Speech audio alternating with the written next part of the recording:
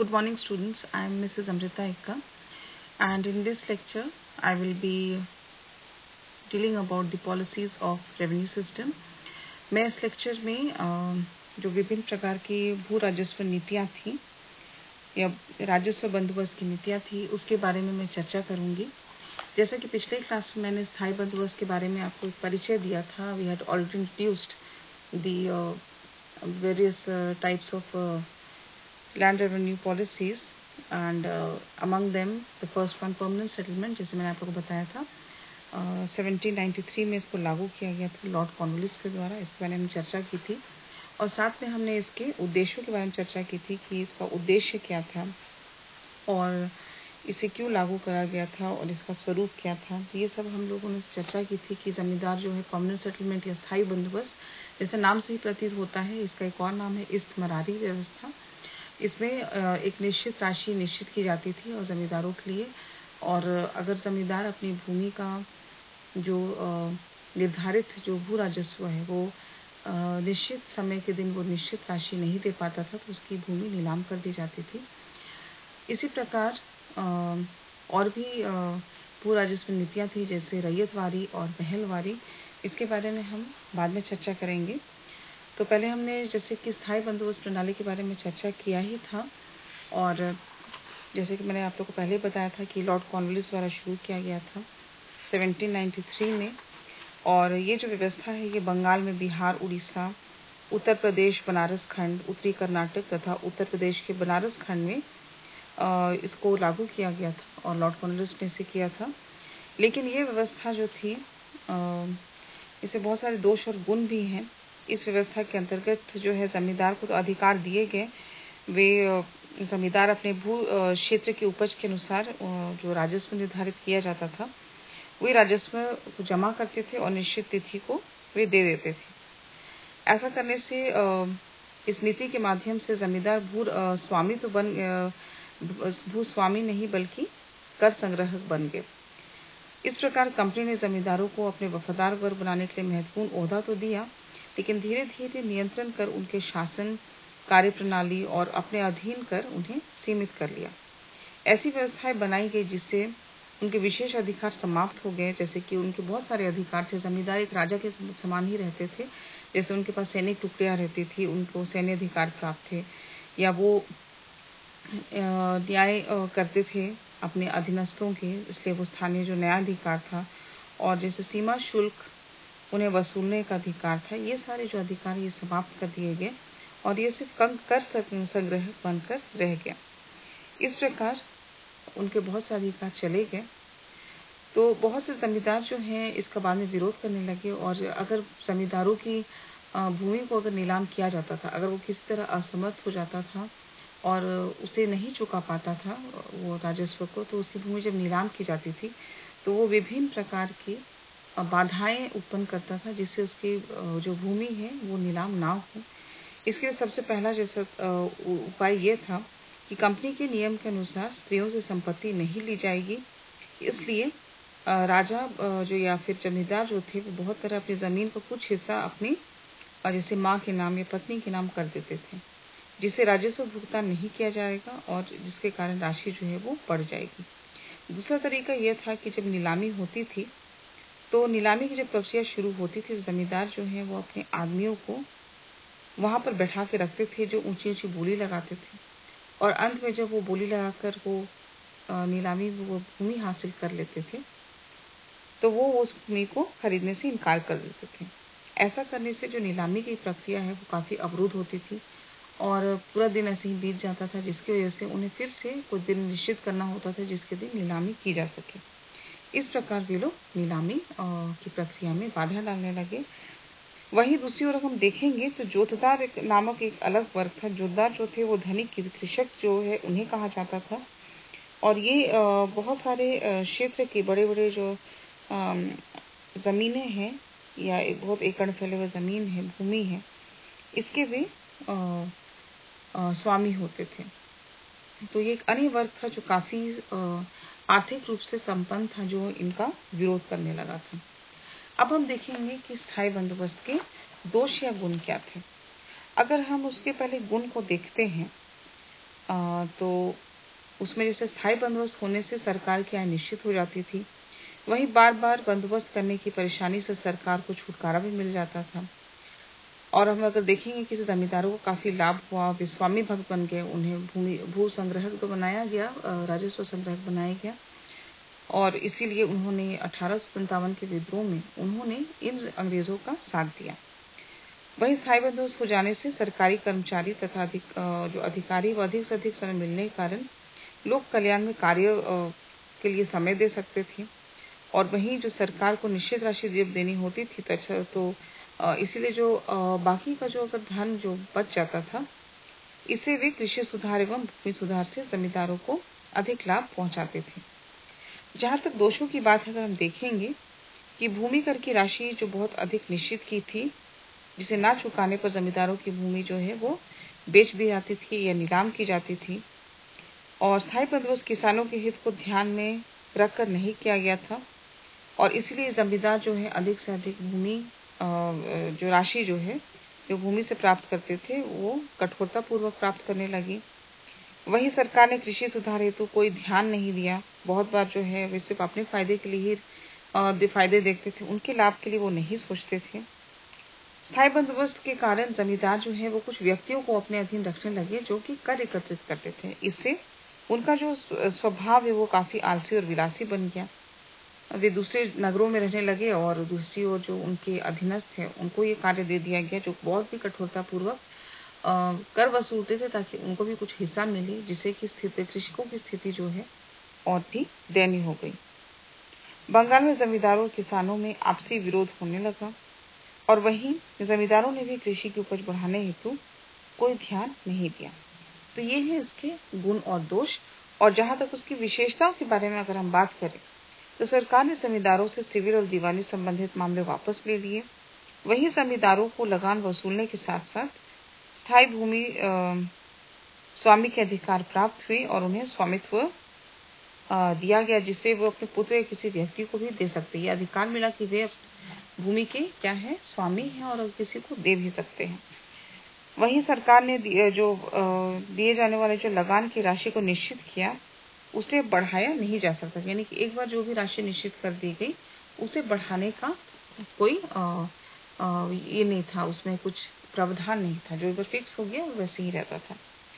उसके बाद इसका अगली विशेषता यह है कि जमींदारों द्वारा किसानों से एकत्रित किए गए भूमि कर दस ग्यारहवा भाग सरकार को देना पड़ता था। वही एक ग्यारहवा भाग जो है वो जमींदार अपने पास रखते थे।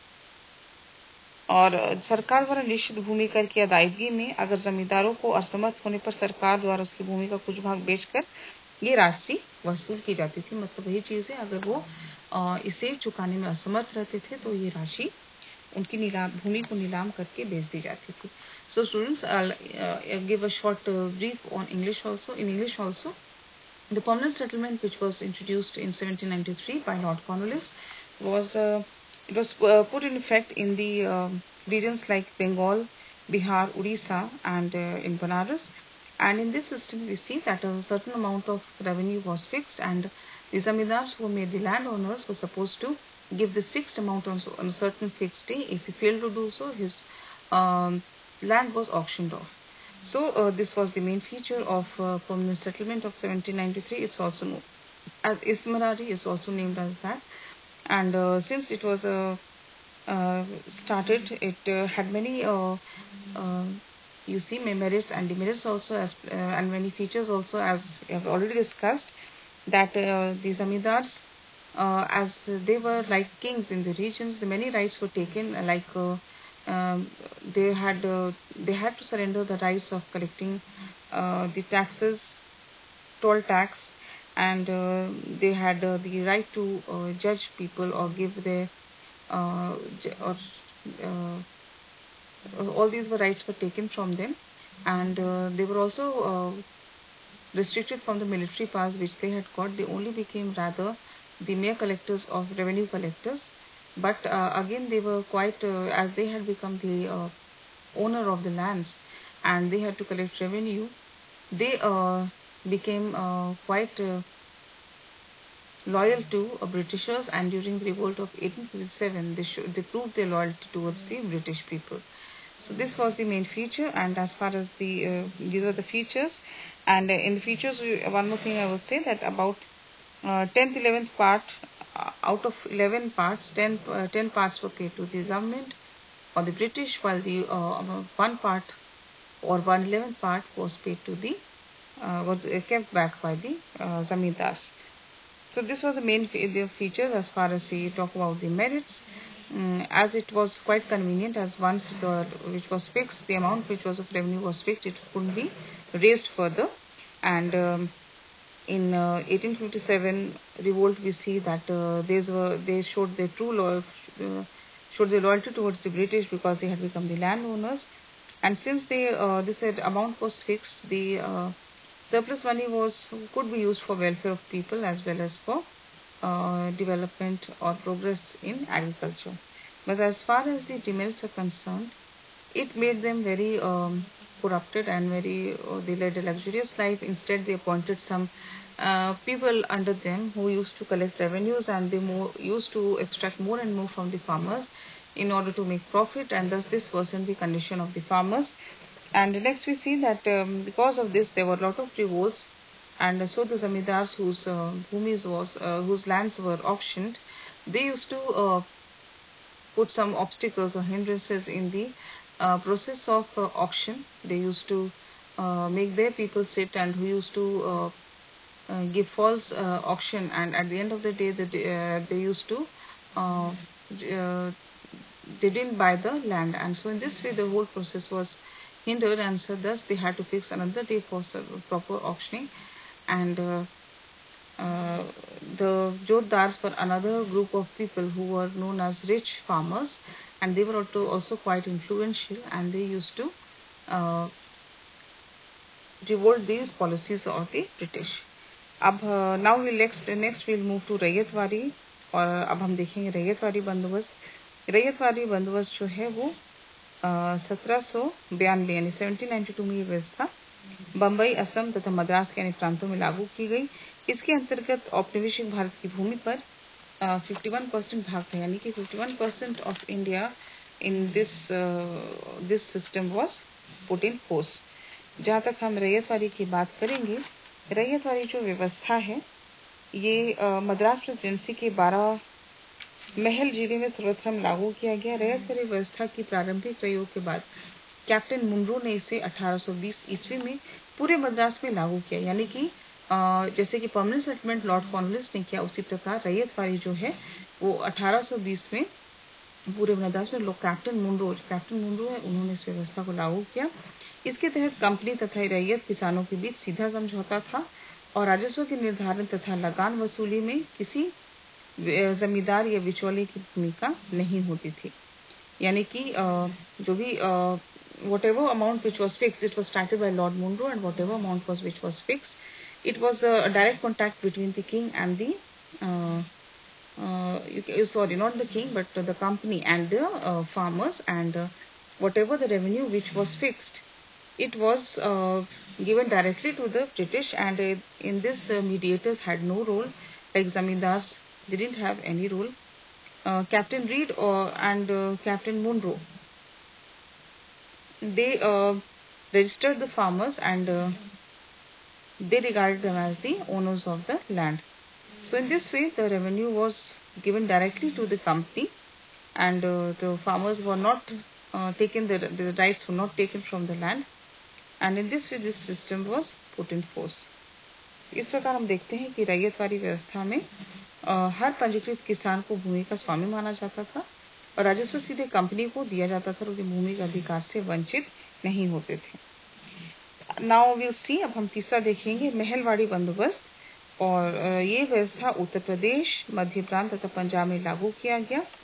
So the third one will see the Mahalwari system in this we see that Uttar Pradesh और मध्य प्रांत के कुछ भागों में लॉर्ड वेलेसली यानी कि 1822 में लॉर्ड वेलेस्ली से इस व्यवस्था को, यानी महल वाली व्यवस्था को लागू किया गया।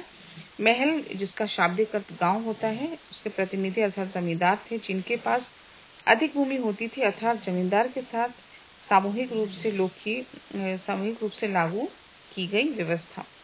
गाँवों को महल माना जाता था, महल के जमींदार उन्हें तालुकदार भी कहते थे, और कंपनी को निश्चित भू राजस्व देने तथा शेष अपने पास रखते थे। इसे राजस्व जमा करने के काम में जैसे मुगद्दम प्रधान हो गया। किसी बड़े रैयत को दिया जाता था। वे सरकार को राजस्व एकत्रित कर संपूर्ण भूमि, गाँव का कर दे देते थे। So in this way we see that in Mahalwari system it was started in 1822 by lord Wellesley in this we see this system is called the term Mahal और the palace it is a little meaning of the word village and zamindars which had more Bhumi and they use to collectively and in this, uh, a village was considered as a palace, and uh, the the uh, zamindars of this palace, who were known as talukdars, they used to uh, give a fixed amount of revenue to the British and uh, the rest were kept remained with them and uh, so in this way they used to utilize the extra money or monetary affairs with them to do for the welfare of the people. So this is the third uh, type of revenue system. So this was all for today. These are the three systems, land revenue policies, permanent settlement, Rayut and Mehelwari. Well, the first one, permanent settlement, was started by Lord Cornwallis. The second one was Captain Munro, Rayotwari, and the Mehelwari was uh, Lord Wellesley. So, uh, that's all for today's students. Thank you.